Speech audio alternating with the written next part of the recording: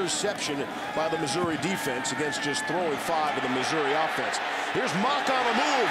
Off the quick change, touchdown. Can't be any more wide open than L'Damian Washington was. And it's all Tigers right now, 26 yards for the score. Own touchdown. Yeah, how often do we see it? You're going to see L'Damian Washington on the outside. When they scramble, the safety's got to be over the top. That's Brian Randolph.